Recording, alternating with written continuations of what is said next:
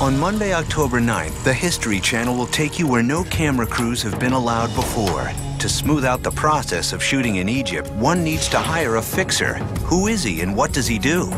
There are a couple factors that really worked in our favor. One is having a great fixer, and that's sort of the term for the location manager, someone in the country, a, a, a national who uh, has connections. Fixer is actually somehow a location manager, a bit of production manager because he's responsible of all payments as well. He is sometimes assistant director.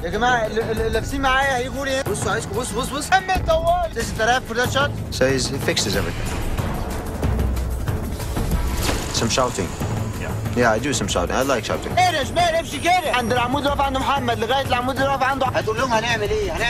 I can't speak highly enough about people that we're working with. Ramy Romany, who's been working with us on a day-to-day -day basis. In Egypt, the only problem is lots of paperwork are needed everywhere. We're a very bureaucratic country. They know every aspect and they know who to call. Uh, no matter what you need, they seem to be able to get it. And they're really well organized. So they've saved us a ton of headaches and um, actually made this trip very manageable.